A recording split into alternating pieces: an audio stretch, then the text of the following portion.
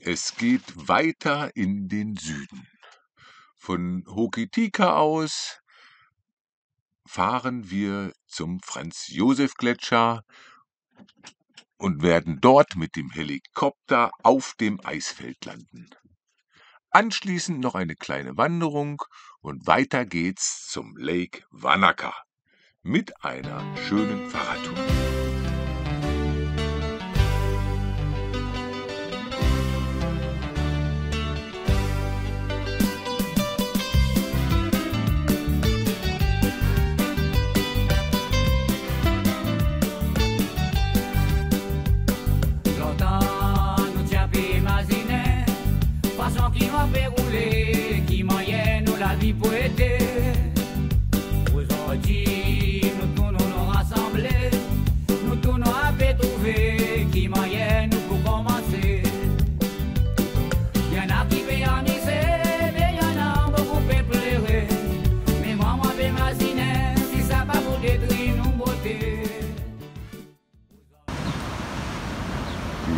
Sonne geht auf in Hokitika. Heute Morgen wurden wir tatsächlich sehr früh geweckt. Um sechs klopfte es ans Auto. Ich war der Meinung, es hat auch schon viel früher mal ans Auto geklopft. Und da stand ein äh, Sicherheitsmann, der sagte, wir dürfen hier nicht stehen. Wir haben aber hier ein Schild gesehen, äh, kann ich euch jetzt hier zeigen. Und wir haben das so gedeutet, dass man da stehen kann, wo die Sterne sind. Das habe ich ihm gezeigt. Und der war auch wirklich ganz nett und hat gesagt, okay, das stimmt zwar nicht, das wäre viel weiter oben, äh, aber ich sehe, ihr habt euch bemüht, also alles okay. Ja, das war die erste Erfahrung hier mit so einem Ordnungshüter. Alles super. Manchmal muss es hier ganz schöne Wellen geben, wenn man sich anschaut, was hier so an Treibholz angeschwemmt wird.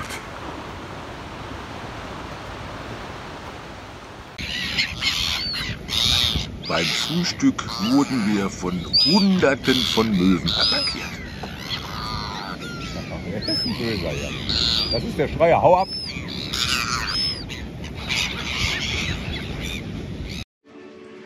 Gestern haben wir Jade besucht und heute geht's zum Goldsuchen hier in Ross. So sah das früher 1860 aus.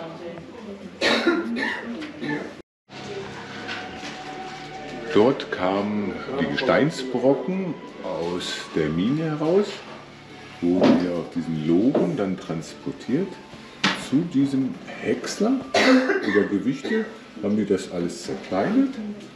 Dann ging das hier runter, dort floss Wasser dazu und da hat das hin und her geschüttelt und das Gold ausgewaschen. Ridges, which you'll make sure is facing outwards because it stops the gold from falling out. And then you'll have this vial which you'll put the gold in once you've finished. So get heaps of water and shake it up. This gets the gold to fall to the bottom and then pick out all the bigger stones.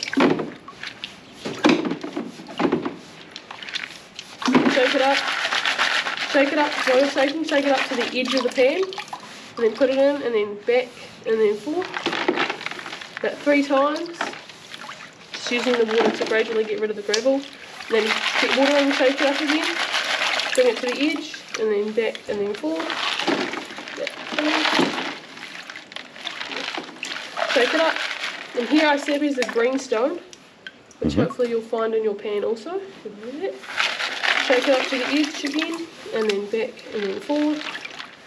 Back, forward. Ah. And so now that we've got, you know, the last few pieces of gold and we've got some stones, we don't want to risk losing the gold. So if you want to slowly pick out some of the stones, you can do that, but make sure there's water in your pan because that's what stops the gold from sticking to your. And the rest is gold. Yep. Perfekt. So. Ha, macht man das. Die Annette ist jetzt dran. Wir üben jetzt schon mal das Goldschürfen. Und schütteln. Ja, immer schütteln, schütteln, schütteln. Da seht ihr das Gold. Die Annette auch Gold? Ja, da unten drin, aber ich muss das erst separieren. Weißt du doch. Also, bei mir ist ganz deutlich Gold zu sehen. Also da unten ist so ein ganz bisschen Gold. Oh. Die Also ich muss das ein bisschen ankippen, sonst kann man das überhaupt gar nicht finden, das Gold. aber sie hat Gold gefunden und Jade. Jade. Äh, irre.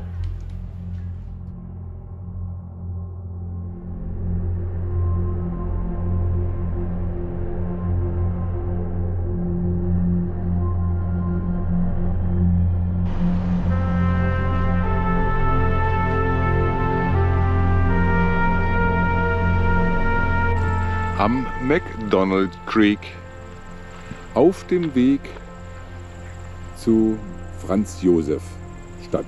Wir sind in den Südalpen, aber sehen können wir sie noch nicht. Hinter den Wolken versteckt sich der Franz Josef Gletscher. Wir hoffen, dass wir den noch mal richtig zu Gesicht bekommen. Es geht hoch zum Franz Josef Gletscher.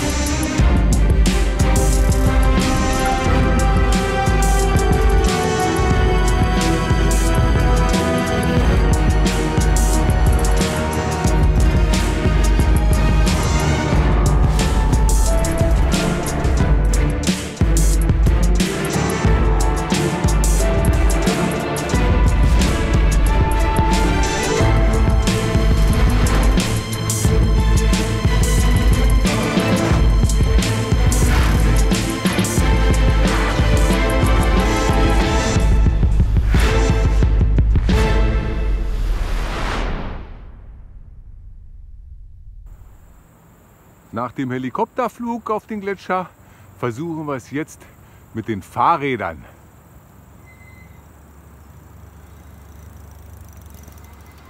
Der Franz-Josef-Gletscher, noch bis vor ein paar Jahren ging der bis hier da vorne hin. In der letzten Zeit hat er sich ziemlich zurückgezogen.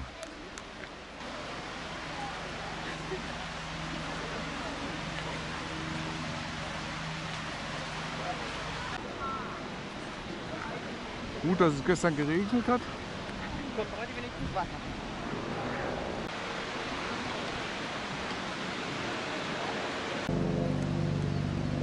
leider nerven jetzt hier die Hubschrauber. Aber wir haben das ja auch gemacht, deswegen können wir uns nicht beschweren.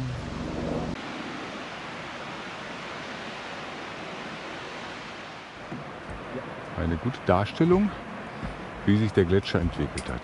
1865, 1907, 1930, 1950, 1965, 2010, da geht er noch bis da vorne hin. Und jetzt im Original ist er noch viel weiter zurück. So soll er aussehen 2100, aber ich finde, so sieht er jetzt schon aus.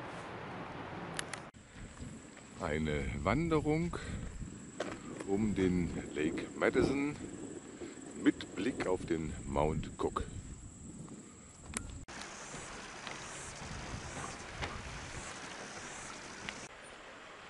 Der erste Blick auf den Mount Cook.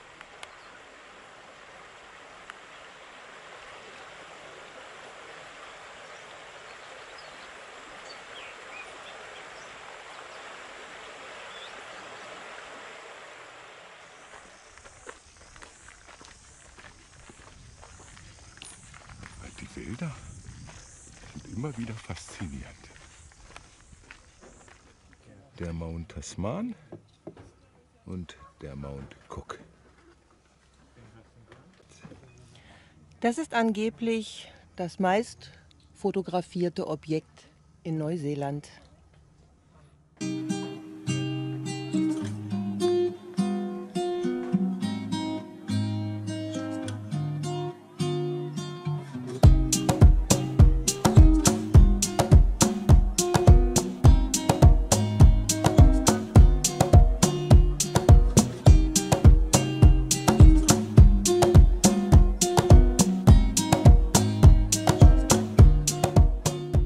Sieht man mal, wie viele Touristen schon hier waren und ihre Steintürmchen gebaut haben.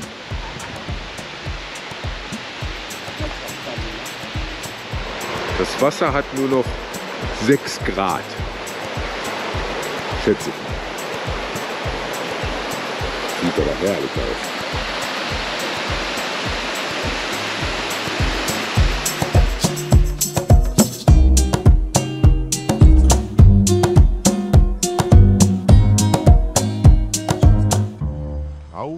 Weg nach Wanaka. Ein riesiges Flussbett, welches das eiskalte Wasser von den Gletschern herunterbringt.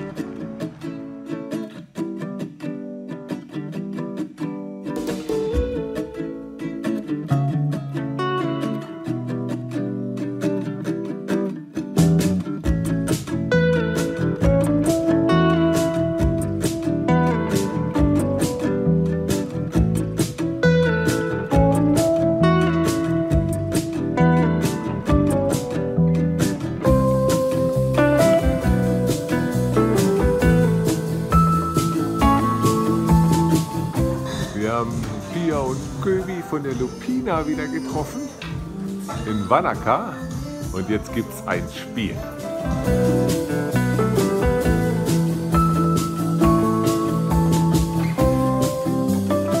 Auf zur Fahrradtour um den Lake Wanaka. Ah, werden wir nicht ganz schaffen, aber wir versuchen mal, wie weit wir kommen. Vielleicht der Gummi reicht. Der berühmteste Baum von Wanaka.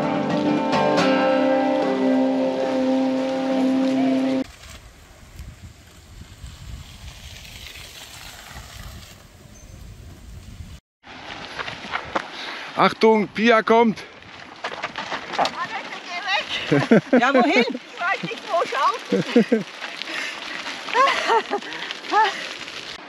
Ah, da kommt er. Ja, die Pia war schneller.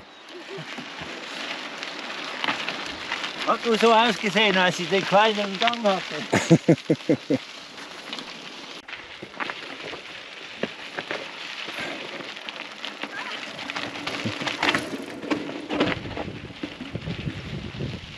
Die Mountainbike-Fahrer. Uh, ja, da sind halt unsere Klappräder nicht für gemacht.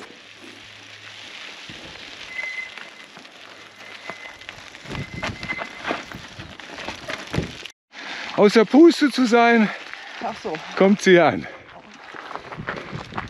Eine super Strecke. Leider ein bisschen viel Steine, das ist nicht so gut für unsere Fahrräder. Da möchte man gleich in das Wasser springen.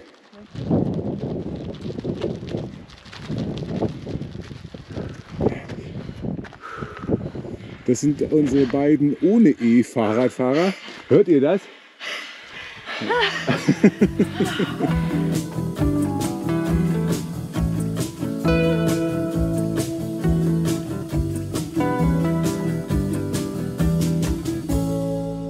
Unsere erste richtige Wellblechpiste. Das wird aber wahrscheinlich Leiki nicht lange durchhalten. Und unsere Nerven bestimmt auch nicht. Wollen wir mal gucken, was die Annette sagt? Schüttelt da echt alles? Das ist zu laut. Ja. Wir sind wieder umgedreht. Die Gravel Road mit der Wellblechpiste war nichts für Leiki. Jetzt suchen wir uns einen Platz am See und hoffen, dass das Wetter wieder schöner wird. Cooler Platz am Lake Wanaka. Es ist Sonntag, es ist auch gar nicht so voll. Da wird fleißig Motorboot gefahren mit Wasserski und Ringo. Auch ein toller See dafür. Eine alte Goldsucherstätte an diesem schönen türkisgrünen Fluss. Wir sind am Tewai Akurokio. Mit einem Elektrizitätswerk